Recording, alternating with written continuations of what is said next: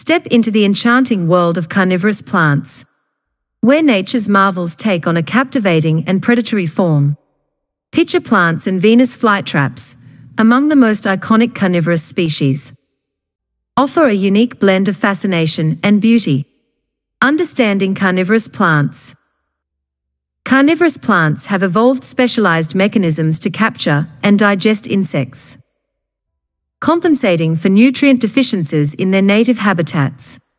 Pitcher plants use modified leaves to form pitfall traps, while Venus flytraps employ snap traps that close rapidly around prey.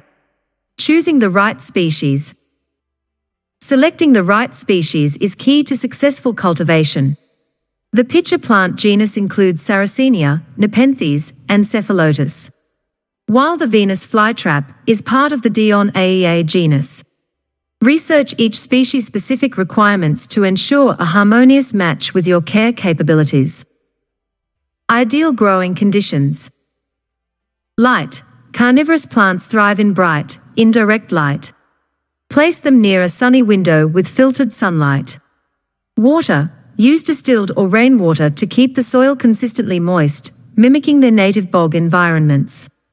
Soil, choose a well-draining medium like a mix of peat moss and perlite. Humidity, maintain higher humidity levels, especially for tropical species like Nepenthes. Temperature, most carnivorous plants prefer temperatures between 65 to 85 degrees Fahrenheit, 18 to 29 degrees Celsius. Caring for pitcher plants and Venus flytraps. Feeding. Allow carnivorous plants to capture their own prey whenever possible. If necessary, supplement their diet with live insects. Watering. Keep the soil moist but not waterlogged.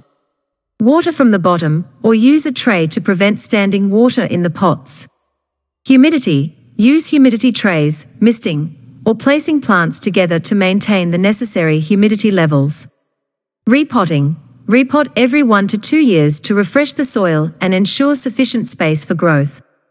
Dormancy. Many carnivorous plants undergo dormancy during colder months.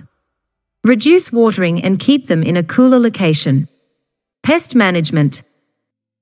While carnivorous plants are predators themselves, they can still fall victim to pests.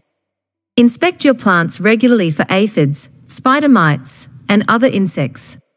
Treat infestations with natural remedies. The enchantment of carnivorous plants.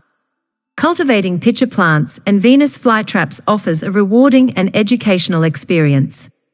Observing their traps in action and witnessing the ecosystem they create can be truly captivating. Each leaf becomes a portal into a world where plants take on the roles of both flora and predator, showcasing nature's ingenuity. As you venture into the realm of carnivorous plants, you unlock a world of wonder that intertwines science and beauty. By understanding their needs, respecting their mechanisms, and cultivating them with care, you embark on a journey where the line between plant and predator blurs, revealing a harmonious dance of life and survival that is as captivating as it is extraordinary.